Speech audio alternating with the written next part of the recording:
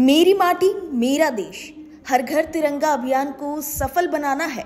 Doctor S P Gupta, CMS मुख्य चिकित्सा अधीक्षक की तरफ़ से समस्त जनपद वासियों को आज़ादी की अमृत महोत्सव की हार्दिक शुभकामनाएँ।